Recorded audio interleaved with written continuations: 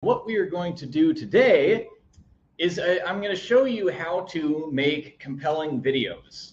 So maybe you've never made a video of yourself. Maybe you've tried and you look terrible and you you don't like it at all. Maybe you've been afraid to try. Well, I'm going to show you two ways that you can make great videos even if you're shy and you don't really like the idea of being on video. So this is going to kind of go over the the journey that I've been on with making videos. So when I made my very first video, I remember was I was probably 23, 24 years old, something like that. And for somebody had gotten me for a birthday or for Christmas, had gotten me one of those little cameras that kind of looks like a cell phone. This was back in the day before everybody already had a, a video camera built into their cell phones. Well, they had, you know, you, the video cameras used to be big and then they got smaller and smaller. And at a certain point, like they had video cameras that were the size of cell phones, but they were a separate unit, right? You didn't, the, the cell phone itself was not the video camera, it was the separate unit. And so I remember that I wanted to, I was doing kind of like some social experiments because when I was young, I was very socially awkward and had a, a hard time socializing. And I, I realized that. And I realized that that was a very bad thing for my life, that I did not want to have anything like that. I, I didn't want to live like that anymore because it was it was ruining everything, right? It was ruining my social life.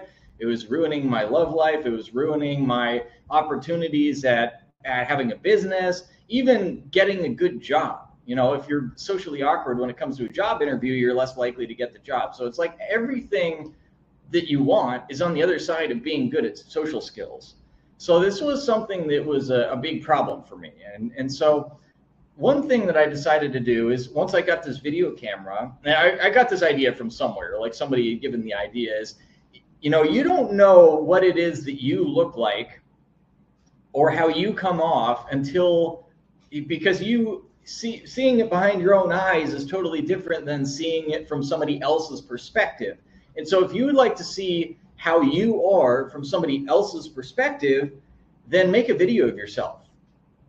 If you want to just talk about something, then make a video of yourself just talking about it.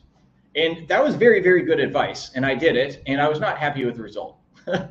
Long story short right? So I talked about economics, which is what I was studying in college, and I was very knowledgeable about it, and I was I liked it. I was enthusiastic about it. But when it came time to actually observe myself, well, record myself, for one thing, I was pretty uncomfortable with the idea of recording myself. It is a little bit weird to get used to talking to an inanimate object as though as you're, you're talking to a human being.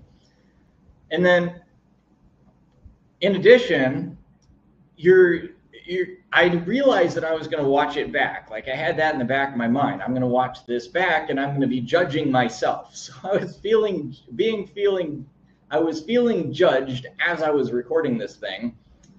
And then I watched it back and, and sure enough, my posture was bad and I had like zero charisma. My my voice was very flat like I had very little expression, very little emotion. I didn't feel like I had little expression, little emotion.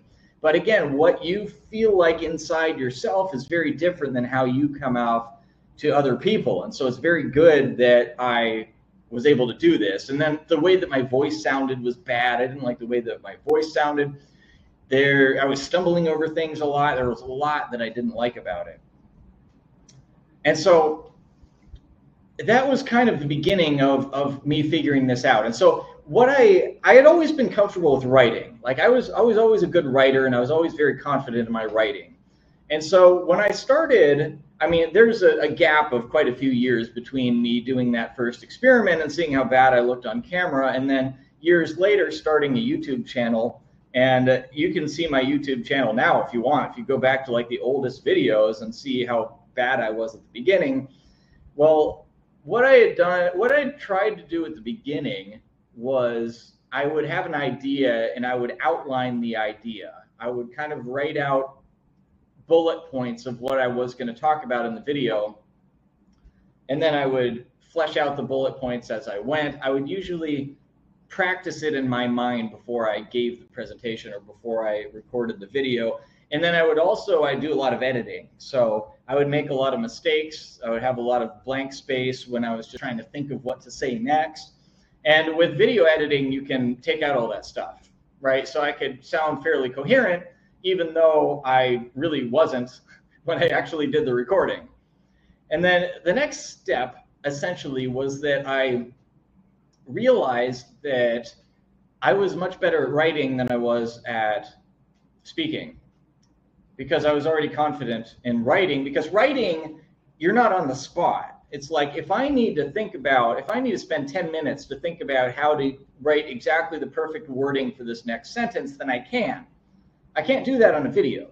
I have to do it right there. And if I don't get it spot on, then, well, I can do it over if I'm editing the video, but it's a lot less forgiving. It's a lot more pressure when you're doing a video than when you're writing. And so eventually I figured out that what I can do is I can make my video creation as writing heavy as I possibly could. So what I do is I would write out, I told you before that I would write out a outline of what I was going to say, and that was very helpful. And then I figured out that if I created PowerPoint slides, then that would help even more. And especially if I wrote out PowerPoint slides that had the exact words that I was going to say, because then all I have to do is read. And so I got more and more into okay, I'm going to write out exactly what I'm going to say when I make this video, and then I'll be able to just read off of it, and and that'll be it. And I still do that to some extent. Um, and it depends on the application, and I'll talk about that in, in just a minute about how to do that. But the basically I got pretty good at this very writing heavy. The problem with the writing heavy process, even though it was good, and I kind of got good at reading the thing, like reading out the thing that I was writing in such a way that it sounded natural. It sounded like I was speaking naturally and I it wasn't just me reading off of the script. Because if you sound like you're reading off of the script, then that it doesn't come off the same way. Right? If you're if you're reading off of a script, it seems scripted. It seems fake. It seems like those politicians that read everything off of a teleprompter, and you can just tell that they're they're not in it. I mean, even though to to my own credit, I was writing the scripts myself. I wasn't like a politician where it's some shadowy guy in a suit in Washington somewhere that nobody's ever heard of is writing the script for me. No, I was actually writing the scripts myself, but still, the fact that I'm reading off the script doesn't give the same level of authenticity. But it does have the advantage of I can know, I can be very precise with exactly what it is that I'm going to say. And so I still do that sometimes.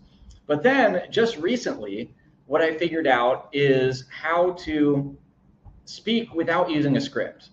And that's what I'm doing right now, by the way. I do not have a script. I came up with the idea. I, I decided on the idea for this video like 10 minutes ago. Literally, I didn't write out any outline. I didn't write out any bullet points. I didn't make a PowerPoint. I didn't make a script. I didn't do anything. It's just purely off the top of my head. And so what I figured out is, and I owe most of this to a guy named Owen Cook, who teaches this very, very well. So if you're interested in learning about how to become a better speaker, I highly recommend taking his programs. But the biggest thing is just to get out of your head.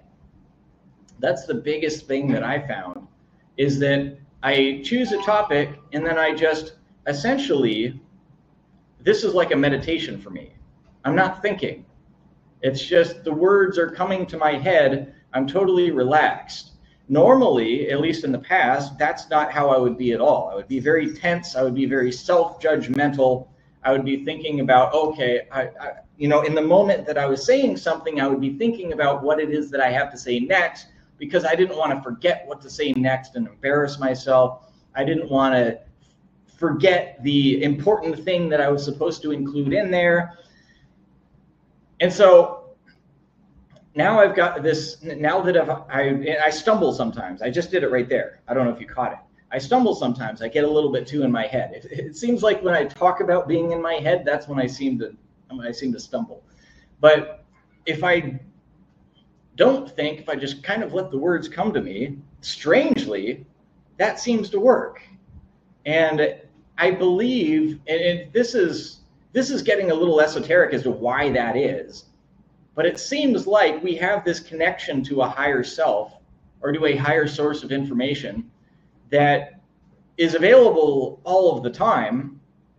And in fact, if you listen to people that are very creative in whatever realm it may be, whether it's writing or music or inventing stuff or even science, like people who have, not science like establishment science where they just go study, they create an experiment and study the thing that the drug company funded them to study or like what that's kind of how most of science works but the, the real innovators the albert einsteins and the nikola teslas and those kind of people if you listen to their own words they will often tell you that it was just like the idea came to me.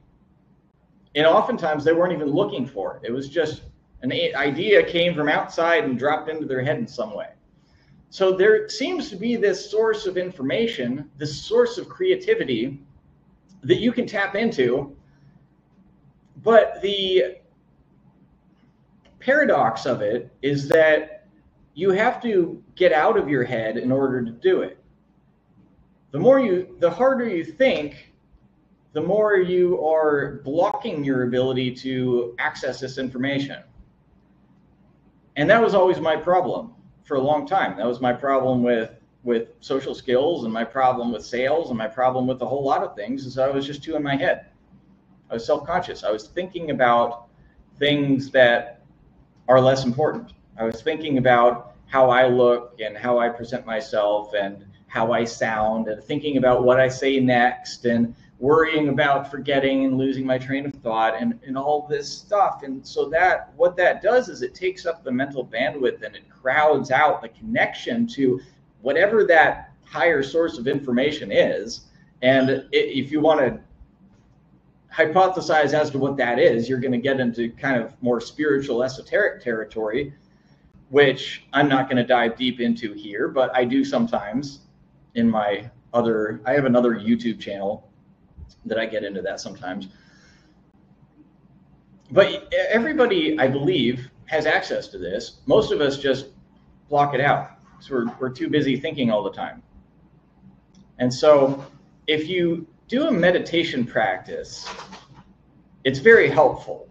If you have, and if you're not familiar with meditation, the, the basic concept is that you remove your mental chatter. You stop thinking, you stop letting your mind wander to a whole bunch of different things. What you do is you keep your mind focused on one thing and generally, it's one thing that's not particularly interesting.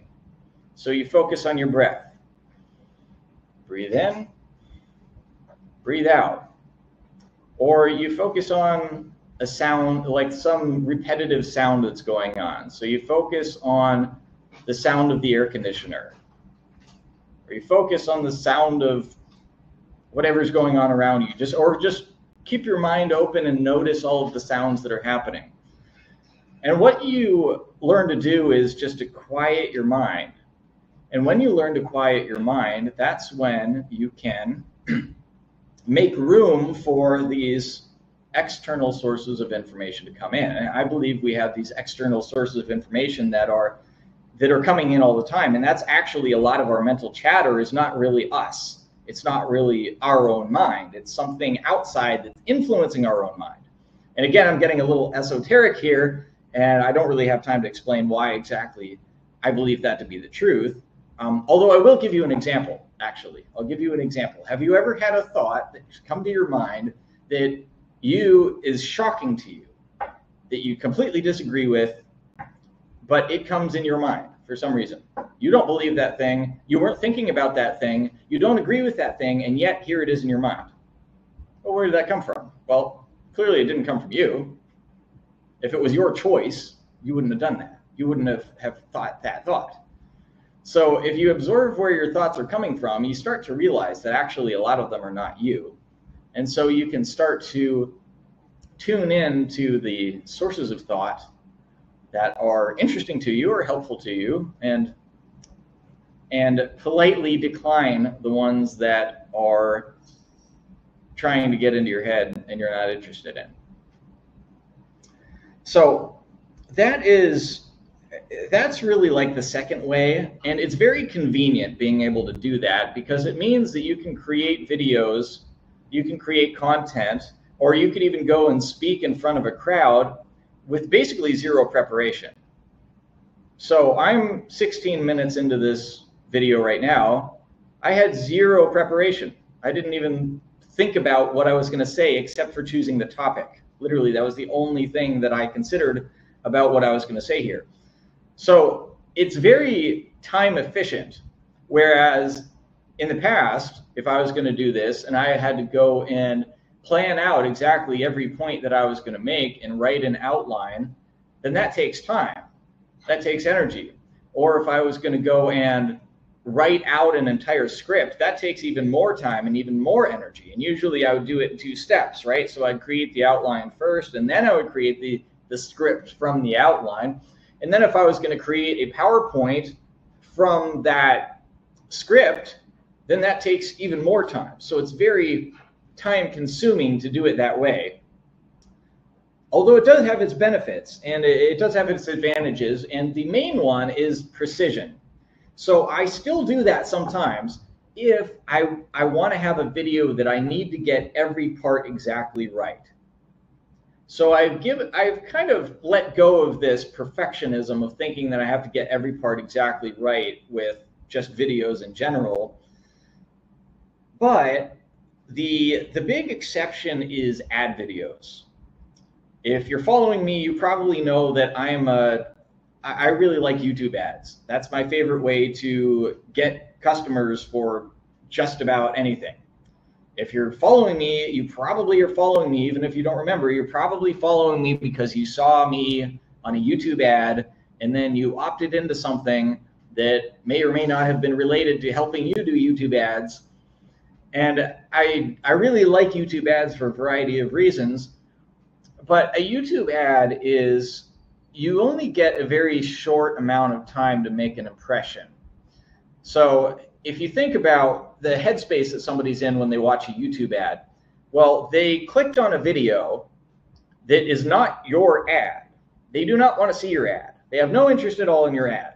They clicked on a video that they actually do want to see, and then your lovely face comes up and starts talking about something different than the thing that they actually wanted to hear about. So, the only way to be successful in a YouTube ad is to be very precise in what you say so as that you hook their attention within the first five seconds. And then, even if you hook their attention in the first five seconds, the person is still looking for an excuse to click the skip button. So, the, the big, well, one of the big skills with YouTube ads is to get people to not skip, is to get people to actually want to hear what you have to say. And so, the first five seconds of the ad is selling people on not skipping the ad. And then the next five seconds of the ad is selling people on not skipping the ad, right? It's it's just it's buying yourself another few seconds. And so you've got to have it interesting enough that people don't get bored and skip. So if people get bored for one second on a YouTube ad, they'll just skip the ad and you've lost them. You've lost the opportunity. So with the YouTube ad, you want to be very, very, very precise because if you screw up something even for one second, then that's going to lose you a lot of potential business. For that reason, I still, for YouTube ads, I script out everything exactly just the way that I used to. Now, this is significantly easier with a YouTube ad than it is with a long video because a YouTube ad is usually two to three minutes long like maximum three minutes. So it's like one or two pages in a Microsoft Word document. And what I figured out how to do with that, that actually works pretty well and doesn't require a whole lot of effort, is I script out my ad. And once I have a script that I like, I will put the ad into a, a Word document, and then I will make the Word document very small. It's like that size on the screen, and then I'll put it right to the side of the screen, like right over by the side of the screen. And then I will have my camera immediately beside where the script is.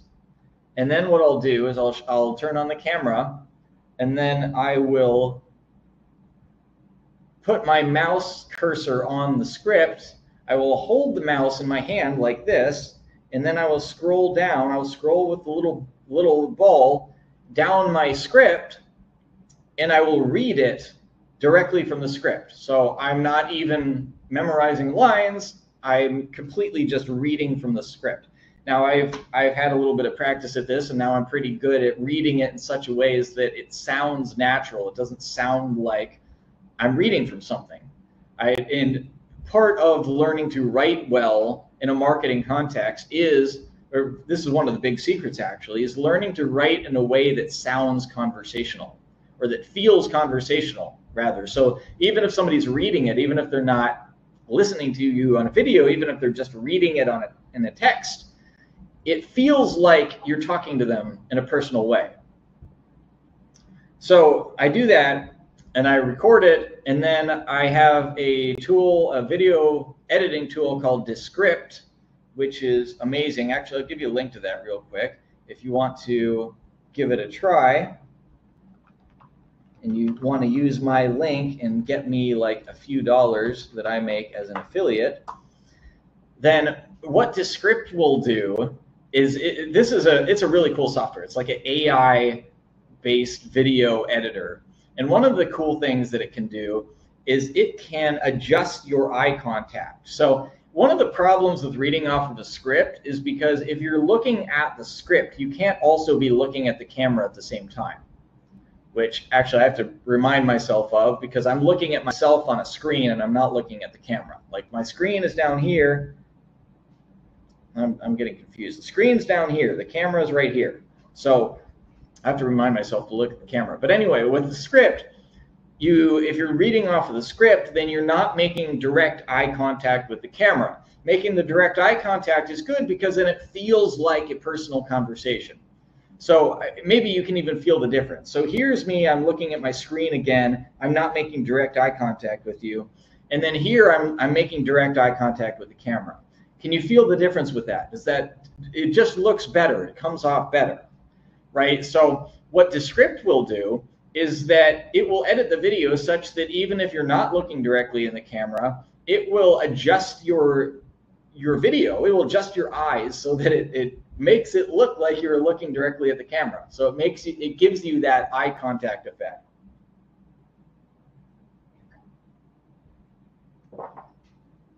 So with that, I can make a video that is 100% scripted, yet with perfect eye contact, and it sounds fairly convincing in terms of being conversational. And I will also, I will start myself over again if I say anything in a way that doesn't come off as well as it could. Another part of it is that you want to say what you want to, especially the first five seconds, you want to say it pretty fast. You want to get that hook in that is that first thing that gets a person's interest. You want to get it in within the first five minutes. So you may want to say it a little bit faster. If I say something and I'm, I talk too slow and it ends up taking seven seconds, then I'm like, no, I'm going to do that over. I want to do it faster. So with the the first method with the script, another nice thing you can do is you can go back and edit. So if you don't say a land, land there I go right there. Like if I was doing that in a that's a perfect example. If I was doing that in a recorded video or not a recorded video, but an ad video, then I would go back and I would say that line again and I would correct it. And then I would just edit out the first line when I said it wrong and put in the second line. So that is basically like I just gave you all of my secrets to video record or to speaking on video, right? There's more to video recording, right? Like I can tell you about lighting and about what cameras to get, although I really don't focus on that very much. Really, the message is by far the most important thing, but that is that is how to at least how I go about doing speaking on video. And so if you've been afraid to speak on video, or if you've if you've done it a little bit but not like the way that you sounded, then give that a try. Try both of those different ways. See which one works for you. I recommend the the scripted way if you're doing ads, and I recommend doing the Zen hippie Buddha way, for lack of a better term, if you're doing longer form videos, or even if you're doing shorter form videos. But if you want to do like Instagram reels, because you can bang out a lot of content that way with very little preparation, very little work. If you hire somebody to do all your video editing for you, then it's like that's the best the best way that you can do it in terms of time efficiency. For me, for a long time, the I, I always wanted to be a content creator. I wanted to put out a lot of content, but the main stumbling block was simply that it took too much time. So now that I can, I have developed this ability, and I, I developed it fast, by the way. I mean, I, I only had to hear about the uh, part of it is that I've been meditating for a long time. That probably helps. If you're not, if you don't meditate as a regular practice, I highly recommend it. It will help you in many more ways than just this. But it, once I learned the secret, once I heard from Owen Cook how to do this, then I pretty much got it immediately. I didn't really have to practice it at all. It's like, oh, it's like that eureka moment. Oh, I got it. That makes sense. Now I can do it. And right from the get go, then then I did it. Even though I've I've always been a little bit nervous about making videos, that helped a lot. So give that a try. If you want to run YouTube ads, that's something that like I've got I've I've made a lot of money. I've gotten a lot of leads I made a lot of sales.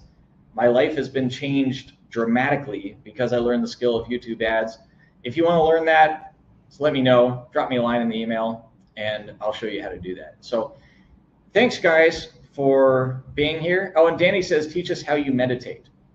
So yeah, I'll do that real quick. Actually, there's there's a million different ways of meditating, and you can find people that are that are probably much better teachers at it than me. But the most simple thing is to set a timer, like grab your phone, put it on airplane mode so that nobody's going to bother you, and then set a timer for five minutes. And then close your eyes, focus on your breath.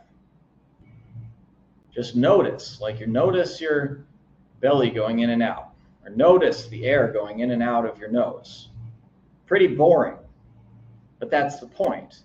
You're quieting your mind. You're calming your mind. You're you're letting your mind take a break without actually falling asleep. You're still totally awake, but you're letting your mind take a break. You're letting your mind open. And so you're only focusing on the breath. If a thought comes up, which it will often, then what you do is you notice, oh, I'm having a thought. I'm going to redirect my attention to the breath you're training your focus. You're training your mind's ability to focus on one specific thing, which, if you think about that for any time at all, you realize that that is an incredibly valuable skill for literally everything.